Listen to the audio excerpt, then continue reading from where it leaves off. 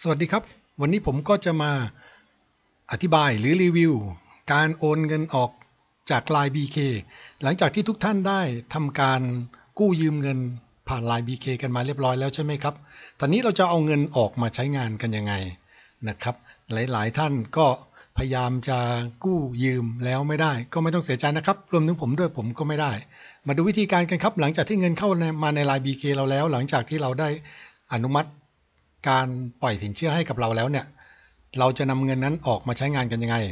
ขั้นแรกเลยนะครับ ก็ให้เราเข้าไปดูตรงนี้ครับ เข้าที่ไลน์ก่อนนะครับพอเข้าที่ไลน์เสร็จปุ๊บนะครับ เข้าที่ไลน์เสร็จปุ๊บให้เราดูตรงนี้นะครับ เข้าไลน์ BK ตอนนี้นะครับเข้าไลน์ BK นะครับเข้าไลน์ BK เหมือนทุกครั้งครับ พอเข้าไลน์ BK มาเสร็จปุ๊บทำไงครับมาดูการวิธีการเอาเงินออกจากไลน์ BK ทำยังไงนะ ตอนเข้าเนี่ยมันจะช้านิดนึงนะครับ เหมือนมันรออะไรสักอย่างหนึ่ง อ่าเสร็จแล้วผมใส่รหัสก่อนนะครับ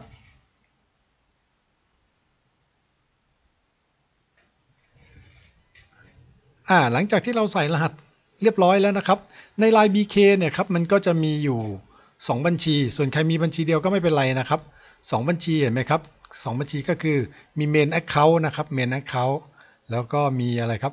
Bank Account นะครับ อันนี้ Bank Account มี Main Account กับ Bank Account Bank Account ก็คือบัญชีกสิกรที่เราผูกอยู่ครับ อะผมเปลี่ยนชื่อเลยแล้วกัน ถ้าถ้าเราอยากรู้ว่าทำยังไงก็ลองเปลี่ยนชื่อดูนะครับ มันสามารถเปลี่ยนชื่อได้นะครับอะผมเปลี่ยนชื่อหน่อยแล้วกันนะอ่าตรงนี้นะครับ ตรงเนี้ยให้เราเอาเมาส์ไปคลิกตรงนี้นะครับ ตรงเมนแอคเคาท์นะครับอ่าแล้วก็เปลี่ยนชื่อบัญชีนะครับ ผมเปลี่ยนชื่อบัญชีแล้วกันอ่าแล้วก็เปลี่ยนชื่อบัญชีตรง main account นะครับไอ้ตรงนี้ main account มันก็คือเป็นบัญชี LINE BK ครับนะครับ เราก็ลบทิ้งก่อน อันนี้ก็คือบัญชี LINE BK นะครับ ใส่หน่อยลาย BK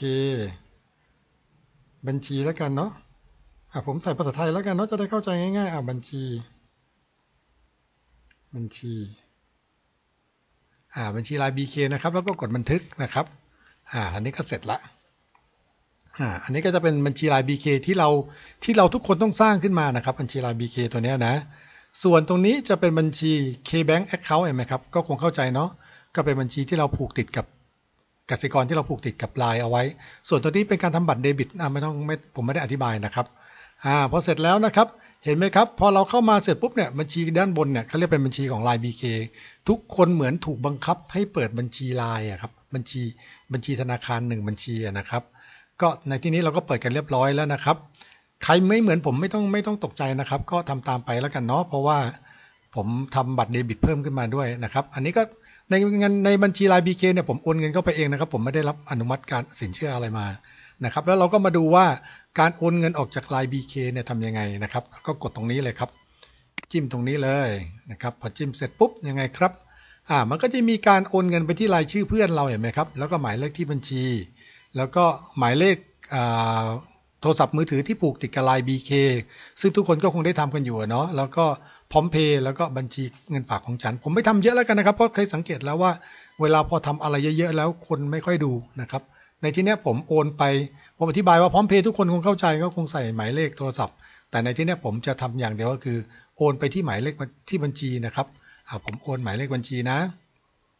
อ่าแล้วก็จำนวนเงินก็ใส่ไปนะครับเขาก็จะมีฟิกให้ เราจะใส่กี่บาทก็ใส่ไป ในที่เนี้ยน่าจะต่ำสุด 100 นะครับ ผมลองใส่ที่ถ้าเป็นอย่างอื่นได้ไหม ห้าสิบได้ไหมเอ่ยห้าสิบอะผมลองโอนห้าสิบนะโอนห้าสิบอ่าลองลองโอนห้าสิบนะครับ แล้วก็ไปที่ธนาคารกสิกร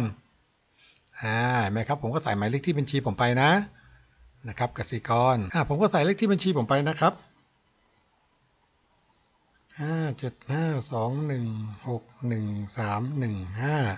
อ่าผมใส่หมายเลขบัญชีกสิกรผมไปแล้วผมตอบตกลง เห็นไหมครับ มันก็จะบอกว่า ผมจะโอนเงินไปที่เลขที่บัญชีนี้แล้วเห็นไหมครับ จะโอนเงินไปที่บัญชีนี้ จะใส่อะไรไหมจะใส่บันทึกช่วยจำไหมเช่นว่าโอนค่าอะไรก็ว่าไป ประเภท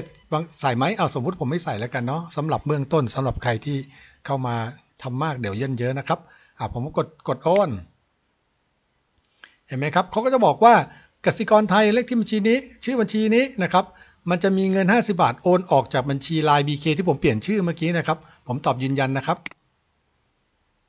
ตอบยืนยัน เห็นไหมครับ มันก็โอนเงินสำเร็จแล้วครับทีนี้เงินตรงนี้ครับ มันก็มาไหมครับ มีเมสเซจมาแล้วว่า ว่าผมมีเงินโอนเข้ามา 50 บาท ที่เลขที่บัญชี 575216315 เรียบร้อยแล้วครับ เท่านี้ครับก็เป็นการโอนเงินออกจากบัญชี Line BK ไปบัญชีธนาคารปกติ เราก็สามารถเอาไปใช้งานได้แล้ว ซึ่งจริงๆ บัญชี Line BK นี่ก็สามารถเอาไปใช้งานได้เลยนะครับทำได้หลายอย่างผูกกับบัตรเดบิต แล้วก็ไปรูดซื้อของหรือว่าจะจ่ายเงินชำระเป็นเป็น